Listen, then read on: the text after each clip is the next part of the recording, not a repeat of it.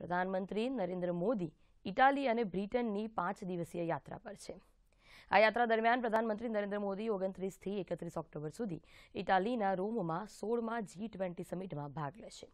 પ્રધાનમંત્રીએ યાત્રા પહેલા થયેલી વાતચીતમાં કહ્યું કે ઓગણત્રીસથી એકત્રીસ ઓક્ટોબર સુધી ઇટાલીના રોમમાં સોળમાં જી ટ્વેન્ટી સમિટમાં ભાગ લેશે, જેમાં જી ટ્વેન્ટીના દેશોના નેતાઓ સાથે કોરોના મહામારી, સતત વિકાસ અને જલવાયુ પરિવર્તનને લઈને વૈશ્વિક આર્થિક અને સ્વાસ્થ્ય સુધારાની ચર્ચામાં ભાગ લેશે.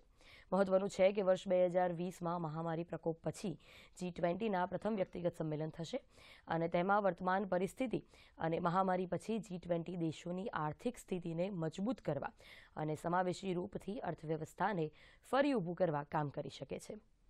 પ્રધાનમંત્રી યાત્રા દરમિયાન પોપ ફ્રાન્સ પોપ ફ્રાન્સિસ અને વિદેશ મંત્રી કાર્ડિમલ પિયત્રો પારોલિનને મળવા વેટિકન સિટી પણ જશે.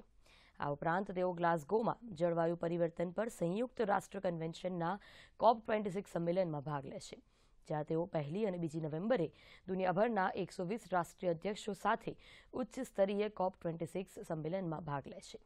આ અંગે પ્રધાનમંત્રી કહ્યું કે પ્રકૃતિની સાથે સદભાવમાં રહેવાની આપણી પરંપરા અને આપણા ગ્રહ પ્રત્યે સ્વચ્છ અને નવીનીકરણીય ઊર્જા ઊર્જા દક્ષતા, વનીકરણ ઉપર મહત્વાકાંક્ષી કાર્યવાહી કરાશે.